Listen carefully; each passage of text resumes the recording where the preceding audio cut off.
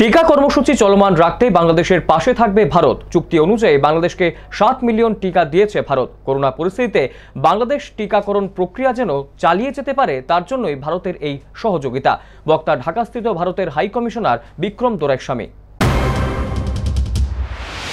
চুক্তি অনুযায়ী আরও সাত মিলিয়ন টিকা বাংলাদেশ গ্রহণ করেছে। বাংলাদেশে যেন টিকা কার্যক্রম চালিয়ে যেতে পারে, তার জন্য ভারতের এই সহযোগিতার হাত, বলছেন ভারতের হাই কমিশনার বিক্রম দোরেস্বামী।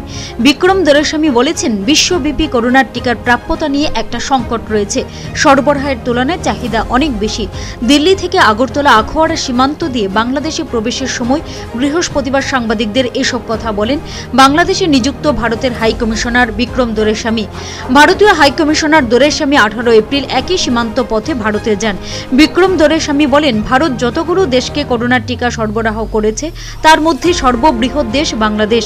ভারতের হাই কমিশনার বলেন, বাংলাদেশ ও ভারত সরকার সহ বিভিন্ন দেশের ও কোম্পানির সঙ্গে টিকা প্রস্তুতের আসল ফর্মুলার মালিকদের সঙ্গে চুক্তি রয়েছে।